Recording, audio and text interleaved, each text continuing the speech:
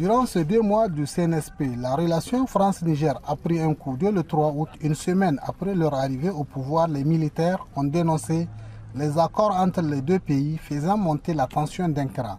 La dernière mesure a été la fermeture de l'espace aérien du Niger aux appareils français. Finalement, le 24 septembre, la France accède aux exigences du Niger et 72 heures après, soit le 27 septembre 2023, son ambassadeur rentre au pays et les 1500 soldats français seront tous rapatriés d'ici la fin de l'année. La page de la coopération Niger-France est tournée. Niamey prend acte de cette annonce et demande un calendrier d'évacuation établi d'un commun accord.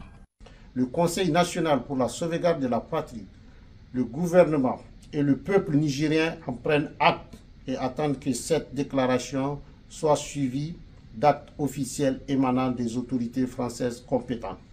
Quant au calendrier du retrait des troupes françaises du Niger, le gouvernement de la République du Niger rappelle qu'il doit être établi dans un cadre négocié et d'un commun accord pour une meilleure efficacité.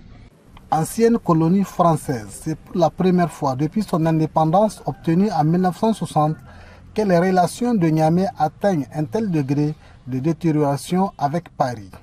L'ensemble du peuple nigérien a fait preuve d'unité, d'unité face à l'intérêt national. Et, et cette unité comme un seul homme, a donc euh, forcé la main à la France, à accepter le désir du peuple nigérien. Certainement, les relations, ne seront plus comme avant, parce que tout simplement, le peuple nigérien, dans sa totalité, a exigé qu'il y ait plus de compréhension, plus de respect entre les deux nations, entre le peuple nigérien et le peuple français. Certaines structures de la société civile, comme le M62, demandent expressément de retirer à la France le permis d'exploitation du site uranifère du Mouraren.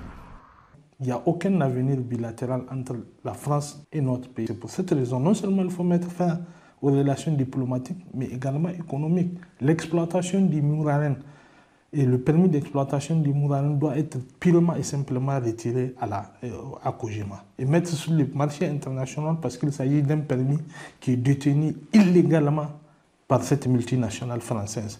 Lors de la 79e Assemblée, le ministre nigérien des Affaires étrangères du gouvernement de transition s'est vu refuser la parole à la tribune des Nations Unies.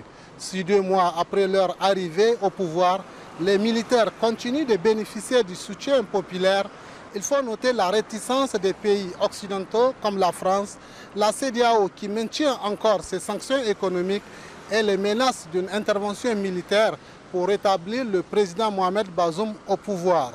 Pendant ce temps, les sanctions économiques, elles, ont eu un fort impact sur les prix des produits de consommation. Ici à Niamey, le sac de riz qui a connu une hausse de moitié de son prix. Omarou Gado, correspondant CJTN français Niamey au Niger.